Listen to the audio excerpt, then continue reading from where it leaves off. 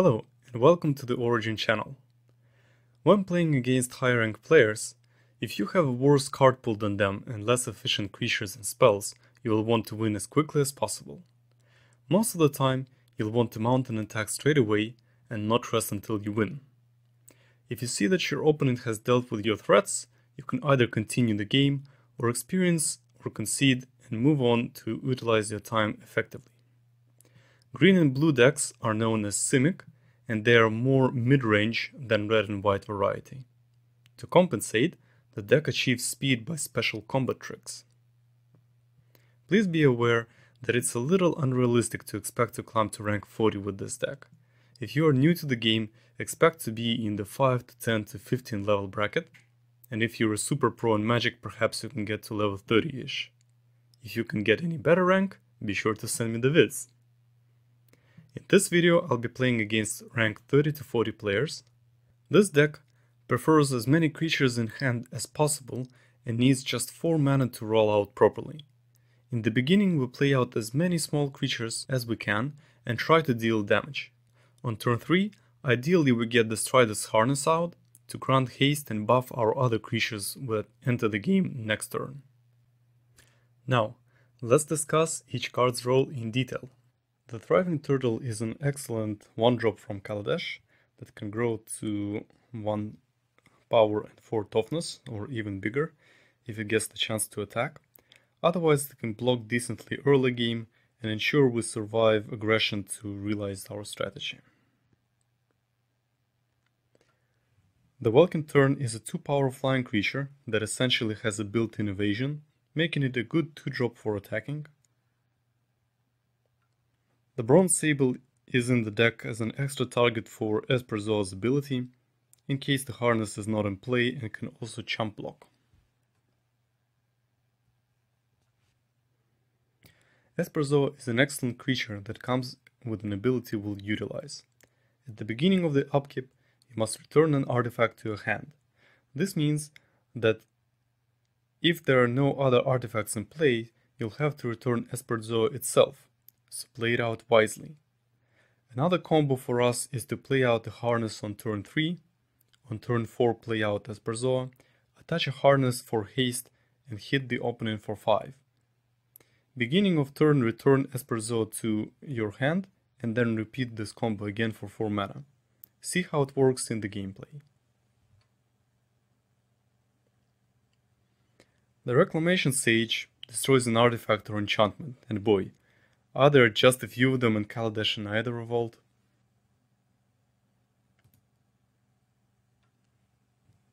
The Thriving Rhino is a decent body for its cost, and can grow if it attacks. The Imperial Voyager has only 2 power, making it not the best possible cards for 3 mana in our deck, but we have to take what we can from the starter box. Its upside is flying, and for some reason people target it with removal quite a bit. Strider Harness. Once you play with this deck, you will love it. It is perhaps one of the most underrated and underutilized starter cards I know of. After turn 3, it gives your creatures of choice plus 1 plus 1 in haste, for just 1 mana. This is prime value here, and it's definitely the card that gives this one turn edge when you barely win against your opponent. Wild Size is another trick we can use to save our key creatures from removal, for Trample to take out opponent's creatures and deal damage to a player, as well as drawing an extra card. Wretched Gryff is a card we will use with its Emerge mechanic. Usually after we have attacked an opponent, on the second phase, we will sacrifice a 2 or 3 converted mana cost creature to cast out a Wretched Gryff. It also has a sizable defense, but we are lower on mana than normal, so we will keep only two copies of him. As for the mana pool, we will have 10 islands, 9 forests, 2 hinterland harbors, and 4 woodland streams that come into play tapped. Now that we have discussed the deck, let's play. So, what have we here? We have 3 lands, two bronze sables, but maybe we can do better. Let's see. Mm, two very high cost creatures. I think we'll have to keep this hand. Let's play out an island first. We do have a two color deck, so we have all the mana we need. Hopefully we will draw something juicy next turn.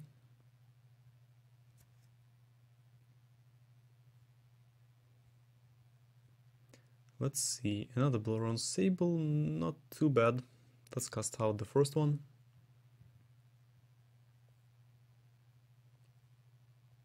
It's the only card we can really play at this stage. Next turn we can go for any of our lands after we attack and get our Thriving Rhino out and try to grow it.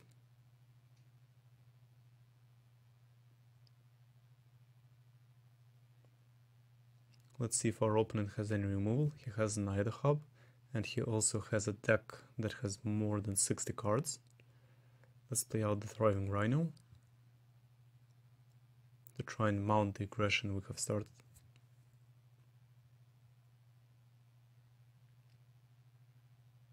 Alright. Opponent doesn't play anything. This is interesting. So let's go ahead and cast out one land. We don't really have anything that we can cast for more than 4 mana. Let's grow the Thriving Rhino. And then we have a choice. If he has a sweeper, then we shouldn't play out creatures, but I don't think he has anything considering what he has. Might be, of course, sweeper like Radiant Flames, but We'll have to risk it for now and try and mount the aggression still. Alright, explosive vegetation. So perhaps some sort of ramp.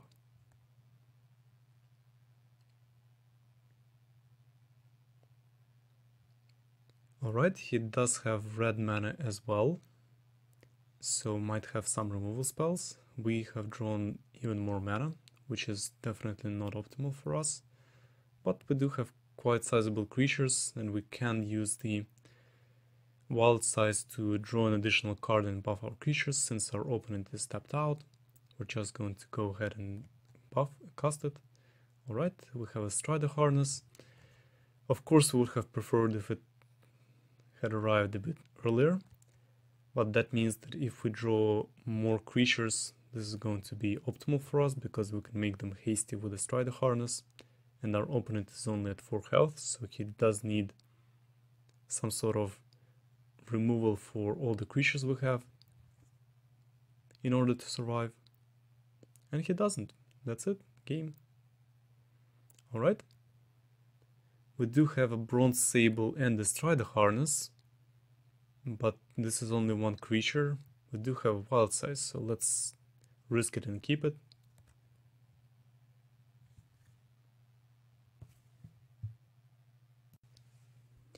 Opponent plays out uh, white and black. So a lot of removal, including unconditional removal, might be on the table. Let's play out the Bronze Sable, since it's our only 2-drop. Next up, we're gonna play out the Strider's Harness, so that we can get all our creatures to have haste. Alright, blue and white once more. Let's play out another forest. Attack first. Not really that many removal spells for black and white in Kaladesh. Strider's Harness end of turn.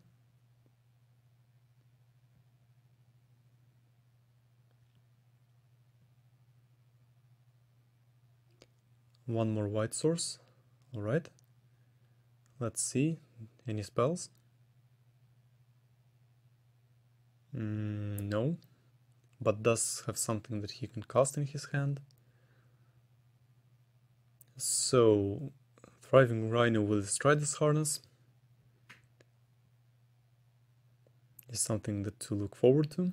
Let's equip. And now the Rhino will have haste as well. We're also going to spend the energy Alright, Blessed Alliance. Good news for us as well, because we can sacrifice the Bronze Sable. We will grow the Rhino, and it does become quite sizable. This leaves our opponent at 14.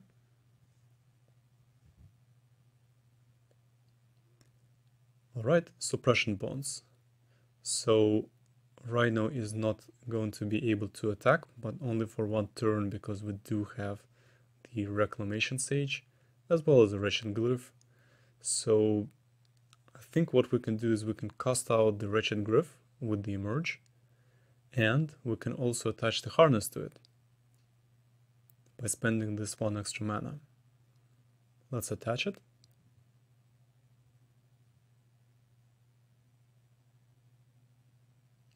Let's swing.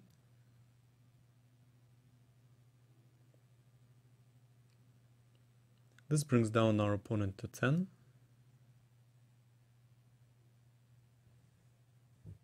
Let's see if he has any answers.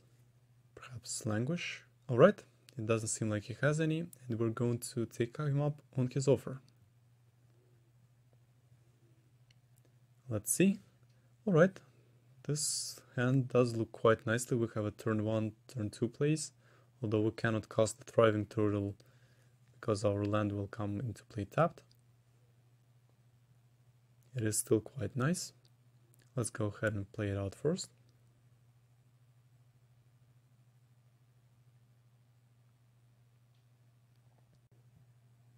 Alright, opponent plays out green and white. So now he has three colors out. Red, green and white. Let's cast out our land. And the bronze sable as our 2-drop. Because it doesn't look like we will need the thriving turtle to block aggressive creatures from our opponent.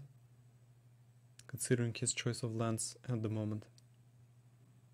Alright, skips the turn. Let's see, we don't have the mana we need to activate everything else. So we're just going to swing with the Bronze Sable.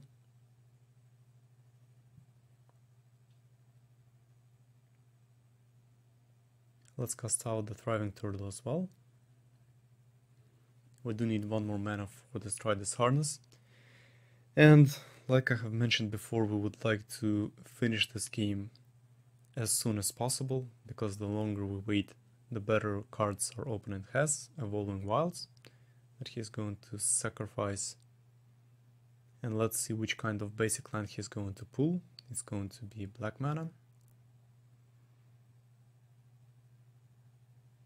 Alright, we do have our third land, and it comes into play untapped to boot.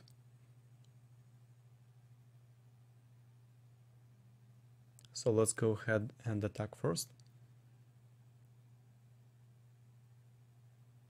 Let's grow the turtle.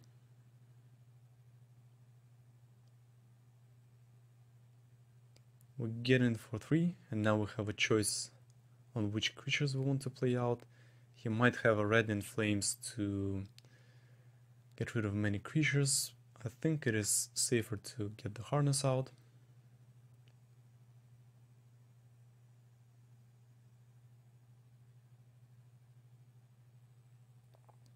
Alright, Oath of Gideon. So this signals to me that this is going to be a Super Friends deck.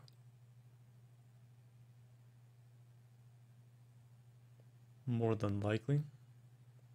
We now have a Welkin Tern, so we have three mana sources. We can play out the Welkin Tern, granted haste with a harness as well as plus one plus one, hitting for three damage. Our thriving turtle can attack without the danger of it being destroyed. We can also destroy the Oath of Gideon with the Reclamation Sage.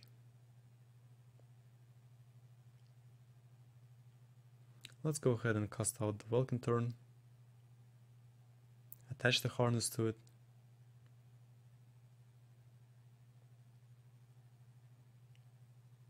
And attack with the two creatures we have. Let's see if he blocks.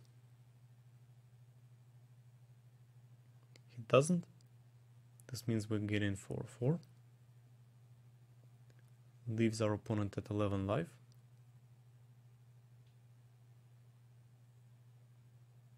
Esperzoa might be online next turn.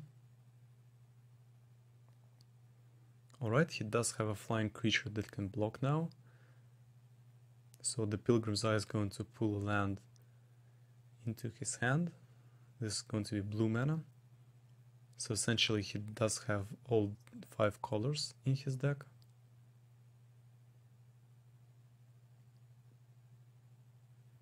Let's see, what do we want to do? We actually have wild size so that we can buff our Welkin Tern when we attack.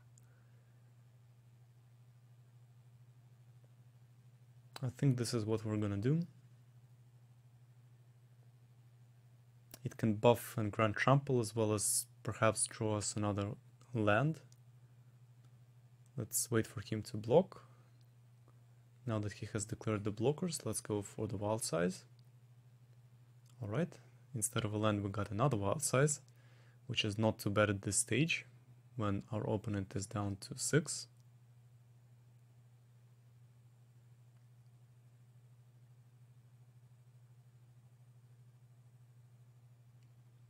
Opponent might have removal spells. It's going to be Tamiyo instead. A decent planeswalker. He's going to use the minus ability to tap down our two creatures. Fortunately for him, we have the Strider's Harness that can be attached to other creatures. Alright, we have another Welkin Tern. So to be on the safe side, we can cast this can turn, attach the harness to it for haste and attack. He does have one swamp.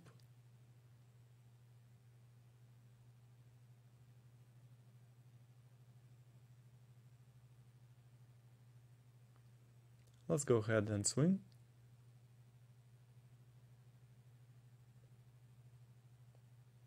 This leaves the opponent at only 3 life.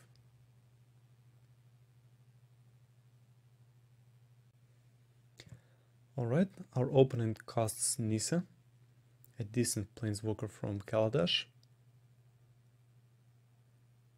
Unfortunately, it's a little bit late, and it just might not be enough to stop us. He taps down both of our flying creatures using Tamiyo's ability.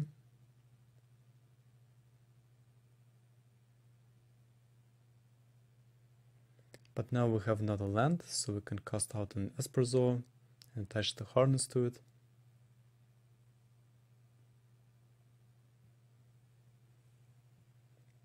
Alright, let's select it.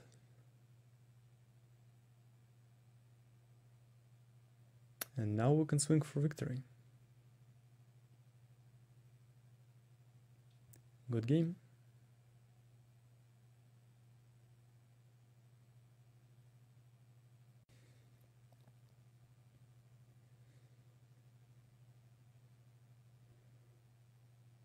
Let's see.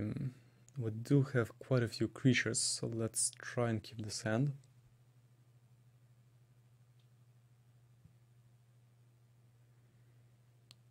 We don't have a blue mana source that can come into play untapped, so let's play it out first.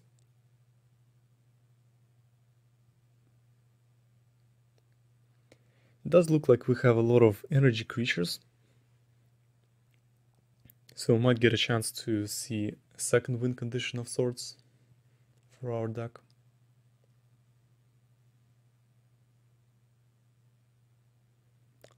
Let's cast out one of our turtles. And we can save the Bronze Sable for an Esperzoa in the future.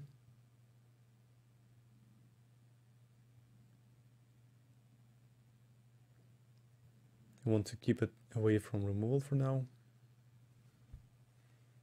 Second white source, interesting. Alright, this is going to be a selfless spirit that can be sacrificed to grant indestructible to all the creatures.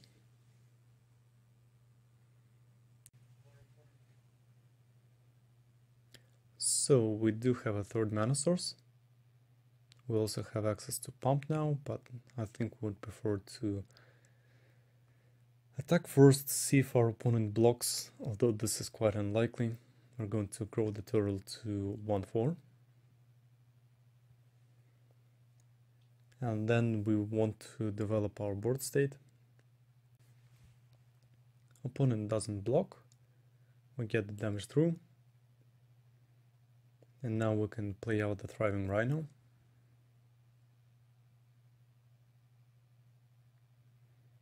Also, we have some handy energy.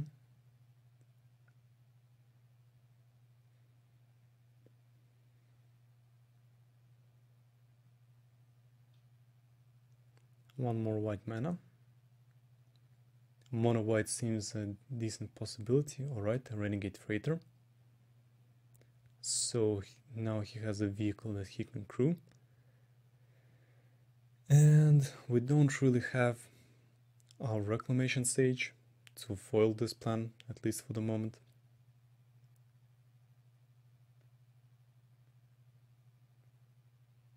Alright, the Welkin Tern, but we don't have a Strider's Harness to make it hasty. So the question is what do we want to play out and do we want to attack? I think since the Renegade Freighter has trample, it's pointless to keep the creatures blocking except for maybe the turtle. We can also use the energy to grow. So we can play out the Bronze Sable and Thriving Turtle. But let's first attack.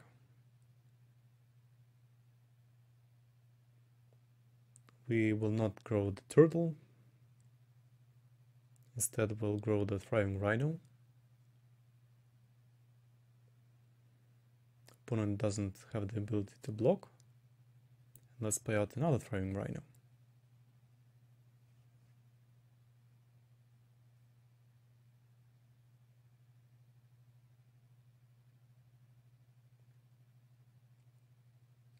Right, it does look like our opponent is running mono white with a lot of creatures.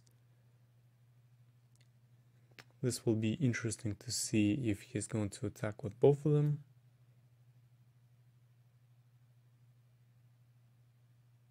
he is going to attack with both of the vehicles. And we still have no reclamation sage so let's go ahead and block. Both of the vehicles have trample.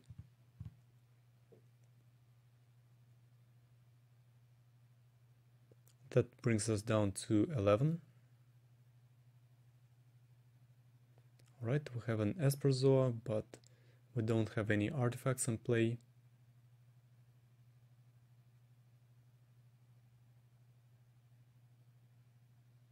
Hmm. He has 10 damage next turn, unless we block.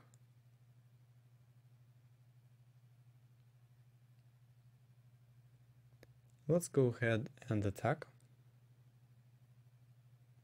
We will not grow the Thriving Turtle. We will use the Thriving Rhino to grow. And we're going to cast the Bronze Sable and the Turtle to slow down the damage that he can deal and use them as meat shields against our opponent.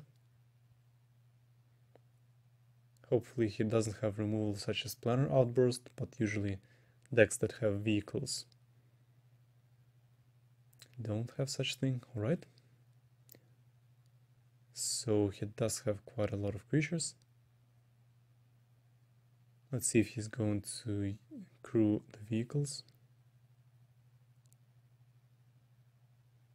He does have a selfless spirit that can make his creatures indestructible.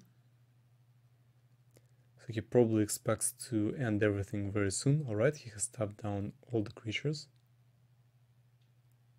We are obviously going to block as much as possible. We cannot really deal with any of these threats, so let's go ahead and block with a turtle. We can block 3 damage. That leaves us at 2 life and leaves our opponent exposed. And we have, with our wild size, we just might have enough.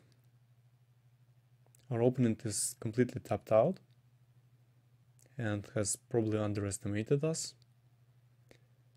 And the price that he will have to pay is the game when we use the wild size.